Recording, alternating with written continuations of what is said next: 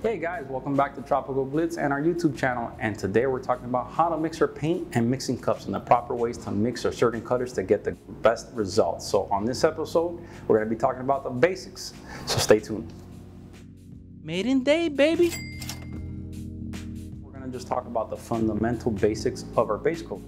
So we have two options here. Majority of our colors are one to one, but we do have quite a bit of an arrangement of two to one and it's mixing it properly with the proper mixing cups. These are mixing cups that we offer on our website. It's very simple. If we have a system that's a one-to-one, -one, that means one part of paint to one part of reducer. And all you have to do is follow the mixing cup direction and match the numbers. If you're gonna go to number three, you wanna make sure you go to number three with your paint and then the equivalent three that's right next to it. Same thing with our two to one. It's two parts paint to one part reducer and so on.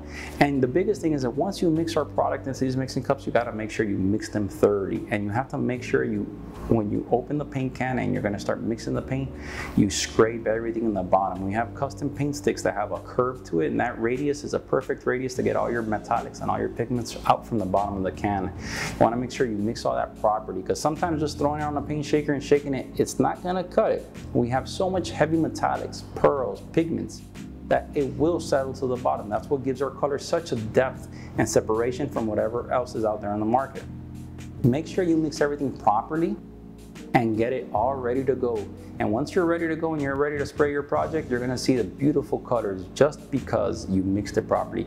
99% of human error comes from mixing incorrect products together or mixing different brands of product together with our product. Our product is designed to work strictly with our reducers and within our own paint line. All right, so one of the biggest things that we have, we have people all the time ask us. So we have different reducers and different activators for things on our website. We have great example we're going to have here our intercoat activator and we have here our base coat activator.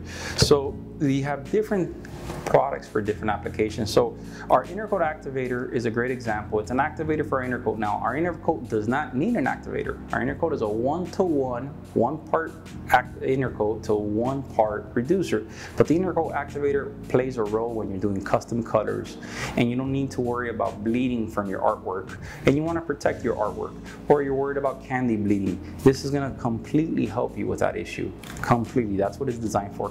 Now our base coat activator is a little different. This is gonna help you with your base coat. Same thing if you're multi-layer and everything. If you wanna worry about, if you're worrying about flex, eh, chip resistance, this is designed to give you that extra insurance and that flexibility of having an activator. Now we have different temperature reducers. The biggest thing that you have to know is take note to what your current and ambient temperature is at where you're painting. Right now we're located in Miami, Florida. Our temperature is usually around 85 on a nice day, all the way up to 95, 98. So here we usually always use slow reducer. Slow or extra slow, but mostly slow reducer. If you're somewhere in the desert, Texas, El Paso, Texas, somewhere the temperature is brutal, you want to use very slow. That's going to give you enough time for their products to flash off and bite into each other. Guys, if you want to see any more information on our products, check out our website, www.tropicalglitz.net. And if you love what you see, like, subscribe, and follow